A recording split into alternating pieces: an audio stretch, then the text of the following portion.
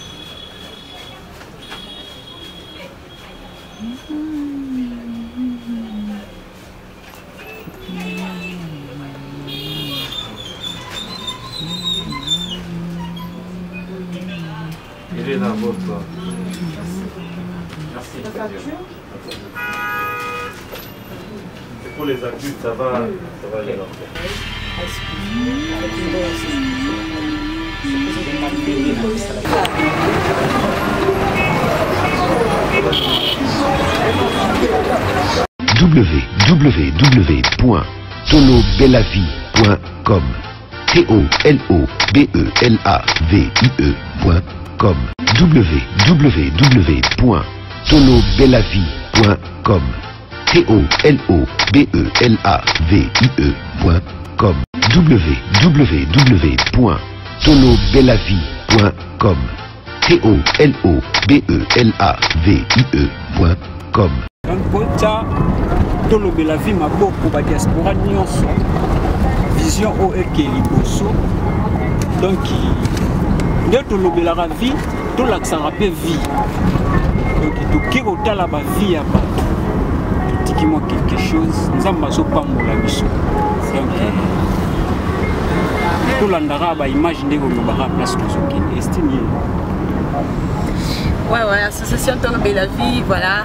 Toujours bêta, tout ça, descente, moi, qu'on a en BVA. visiter bango tosuka kaka na visite te mais lomo bozomona tomeme bango mpe quelque chose en tout cas na olingaka bolanda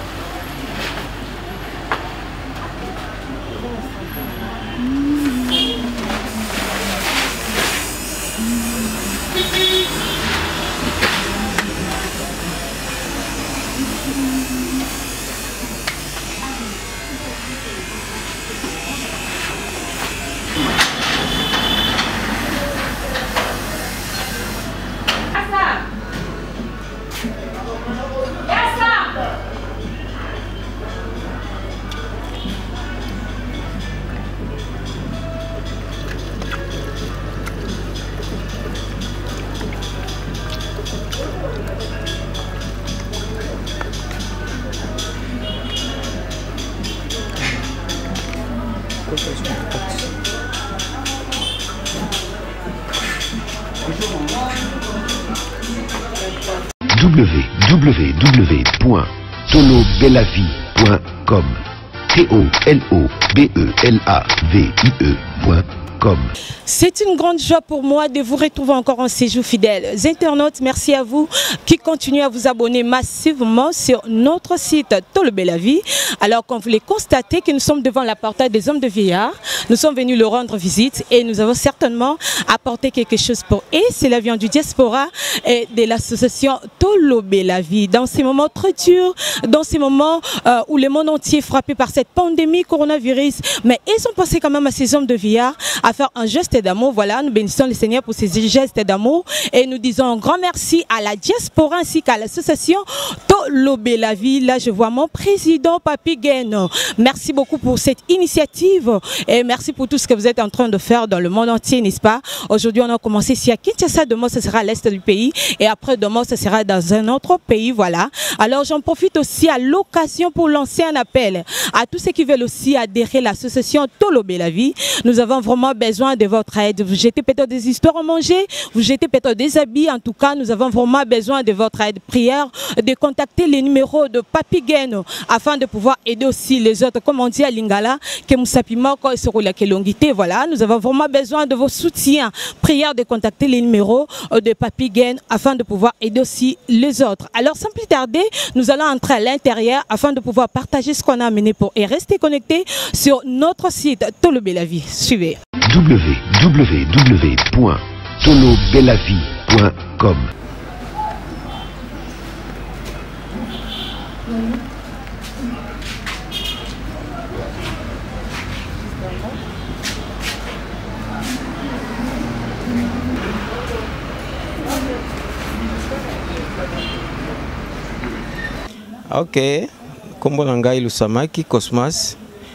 Je suis responsable ya Homme de Vieillard de Kitambo. Nasepeli komona bandeko baye kotala ba vieillard. Naoki koloba na kombo ya ba vieillard na ngai, na kombo na ngai moko. Na remercier action Tolobela, Tolobela Vie, association Tolobela Vie na acte asali. ezali acte vraiment oyo esepelisi motema na ngai na meme ba vieillard mpo vieillard malgré toza na confinement malgré toza na epidémie mais soki azwi eloko ya kolia mpo mbula na ye esesili alie vraiment akosepela mingi nde na remercier action tolobela vie nzambe apambola bango nzambe apambola mpe bandeko baye na biloko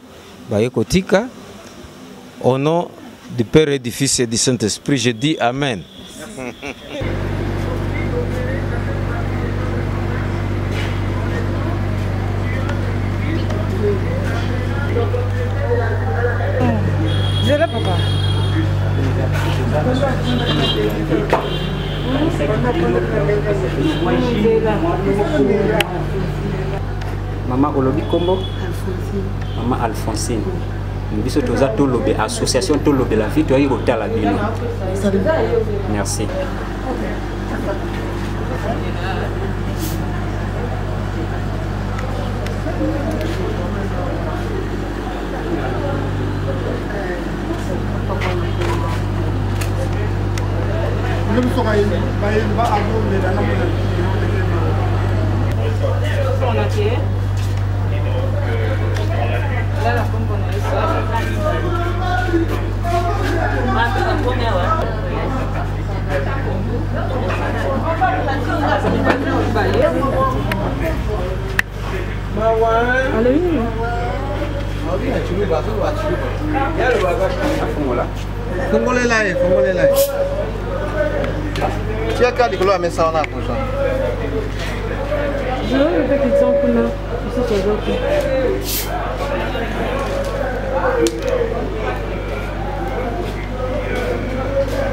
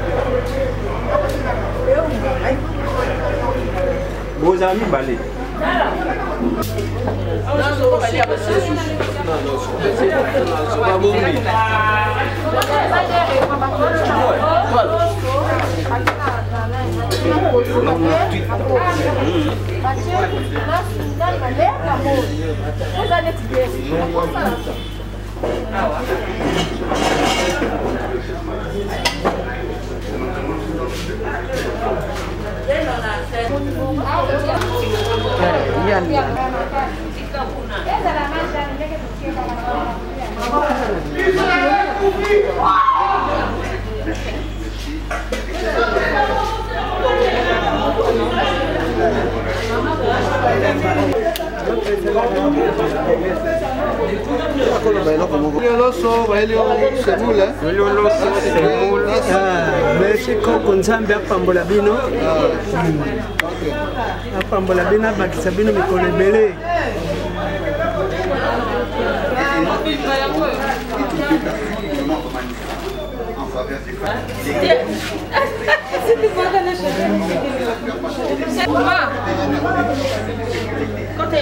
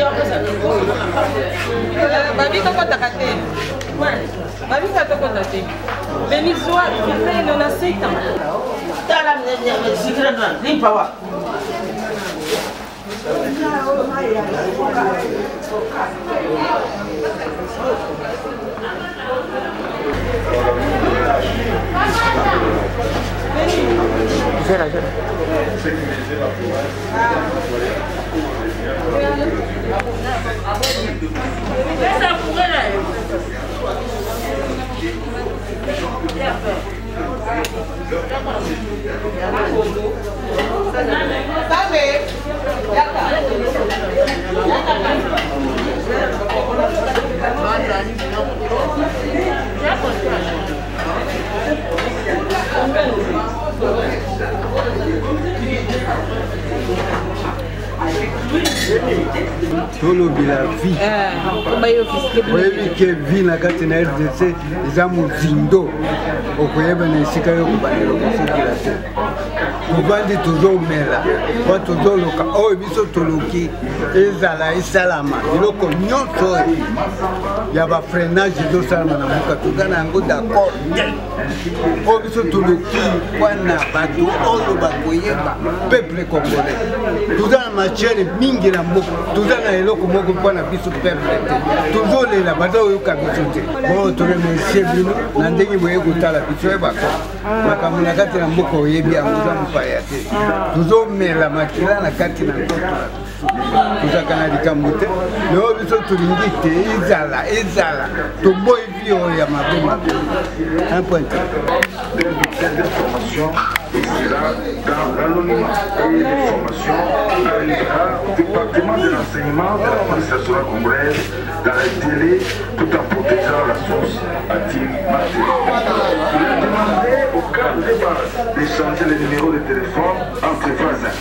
et d'observer scrupuleusement les mesures barrières pour lutter contre la pandémie Covid-19. De l'autre côté, les différences de quartier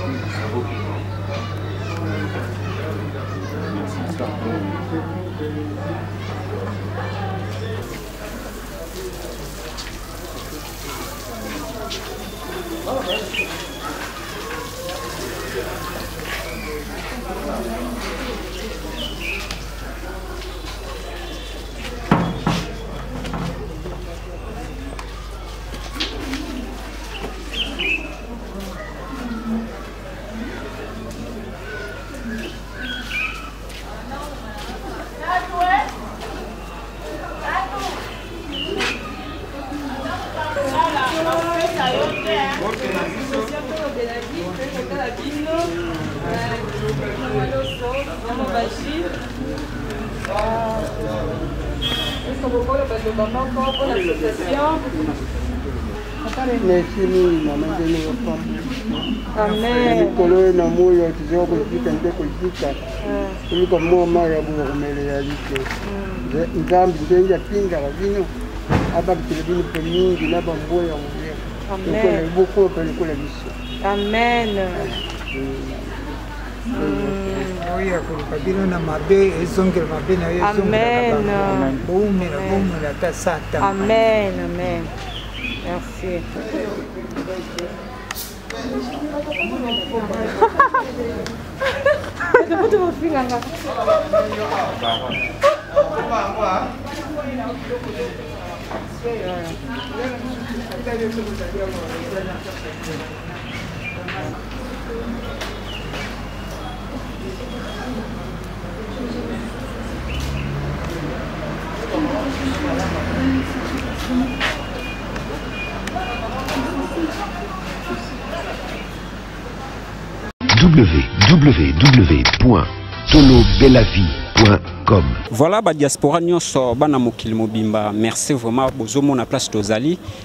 toza awa na homme de fier oyo homme de fier oyo ya kitambo ozomona bango wana bango wana baza wana donc congo vraiment ntango tozolobelaka vie ya bacongolais tala vie ya bacongolais babola ya boye mikolo ya boye banaye bakosunga bango parce que boyebi gouvernement na biso ebetaka nango makambo ya boye kara c'est-à-dire eza bino nde badiaspora ngai na yo nde tokosala moke moke ndenge mon président papi gene azosala na bocontinue toujours kosoutenir geste wana pour ke tokitaka babisika ya boye totikaka mwa savon mwa loso mwa ji mwa babiloko oyo bomoni wana ekosala bien vraiment makasi en tout cas bosimba association oyo makasi vraiment pour ke ekende liboso toza bamama bazosala awa wa totuna bango mwa question moke beni biwana pusana nano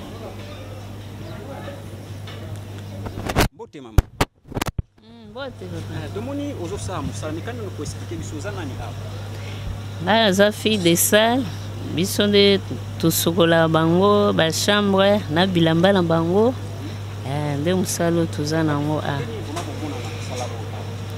awa neti biso basali toza besoin na gan eh, difficulté mingi na bagan na babotine mpo mai wana soki ekweli biso esala biso mikusa na nzoto yango wana kome eza mosala eh, tosenga na bapartenere baya kotalela biso likambo oyo na en plus mpe prime eza te eh, tosala mpe comme mpe lokola postola me nzambe moko nde aoyeba nde nini abongisela biso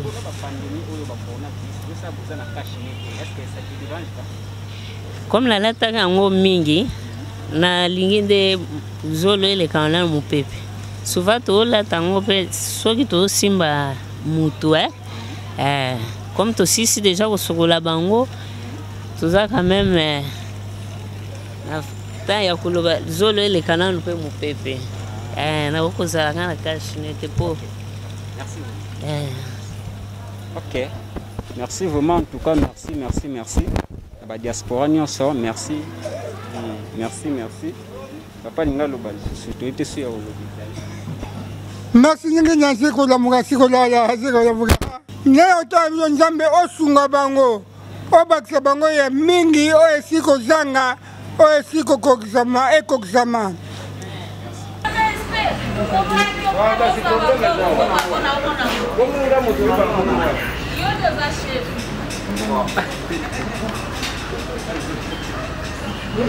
ngai nkombo na ngai mama esperance mandundu naza secrétaire mpe réceptionniste awa na homme de viare ya kintambo ah, nalingaki kaka kopesa merci na association tolobela na ndenge bakanisi bakoko eh, tolobela vie na ndenge bakanisi bakoko na periode oyo ya confinement bato mingi bazobanga maladi kasi bango nzambe atouche bango baye kotala bakoko na periode oyo babangi te vraiment merci beaucoup na signe oyo symbole mpe balakisi bolingo mpo komona bato oyo babwakama me bango bazokanisa bango bango mpe basepeli makasi komona ete bato babosani bango te nzambe apambola bino nayebi ke mbala nsima bobosana biso te eh, toza na besoin mpe ya bakisi bakoko toza na badoktere awa bainfirmier bazali toza na besoin ya bagan ya baboti mpona baoyo basokolaka bango bino moko bomoni ndenge bazolata baga wana eza insuffisant mpo na kosokola bango mpo bainfektio eza mingi tokokima bango tokobanga bango te mpo eza mosala oyo topona